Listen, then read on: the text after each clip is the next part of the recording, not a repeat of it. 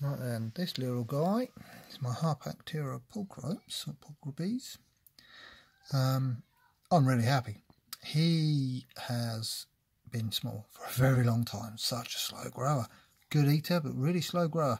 Um, and if I'm honest, he's been a brown sling. None of these colours. Um, and as you can see from the middle of the picture, he has just molted. Uh, that would have been last night. And now I can see the beginnings of his adult colours. He's actually got a golden body. Um, and you can see clearly see the blue legs starting to come through. Um, golden blue leg baboon. Finally starting to live up to his name. I don't know if it's going to show up properly, but those colours are amazing. He's got obviously the blue legs, the orange on his legs, and then the golden carapace. I didn't realise that the gold carapace and abdomen is a different colour to the orange legs. Um, okay, he's not very happy with my torchlight apparently. But uh, yeah, I will get his molt out of there and, uh, and leave him to uh, harden up before giving him a feed again next week. But uh, yeah, very happy that he's no longer a plain brown sling. One week later. Right. So, uh, hold on, let me change you back into autofocus. There we go. It's better do it hands free. This guy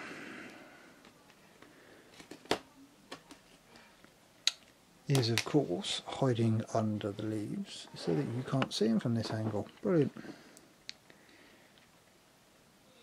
There he is down there. This guy is my recently molted. There we go, get a bit of light on him, if that'll help. Uh, Blue-legged golden baboon, Harpactira pulchripes. Um, so, he molted last week. So I need to see. Oh God, sorry, cockroach escaped. My missus will kill me if that gets out in the bedroom. Yeah, there we go. Right, didn't get out by the way. If you're watching this, um, we did get out. I'll put it back in.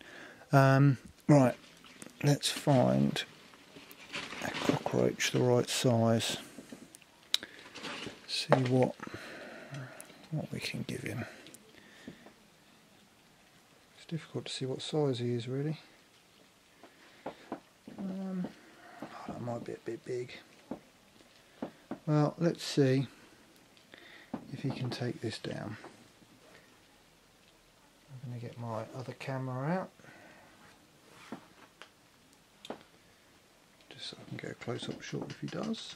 I'm just going to drop it in see what he does. You'll be able to tell whether he's ready or not by how he reacts, I think. Um, down there, I think. Is it going to be on camera? Oh, yes. Definitely ready then.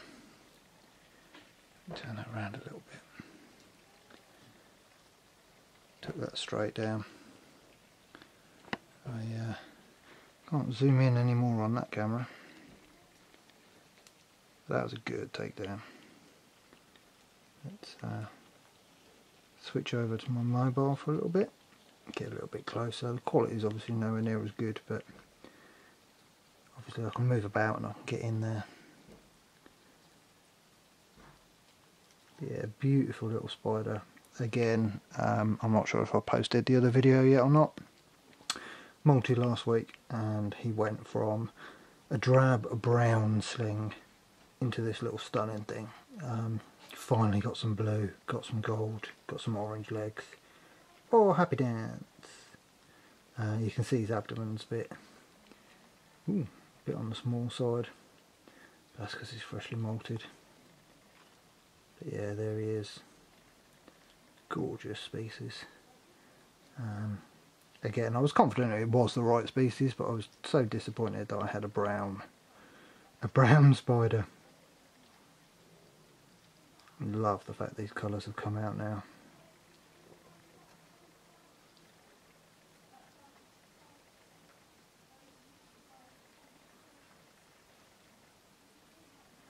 Having a little tussle with the roach.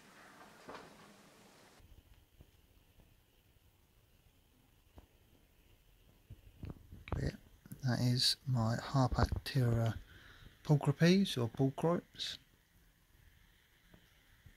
Uh, blue blue-legged golden baboon or golden blue-legged baboon or whatever other common name you want to give it.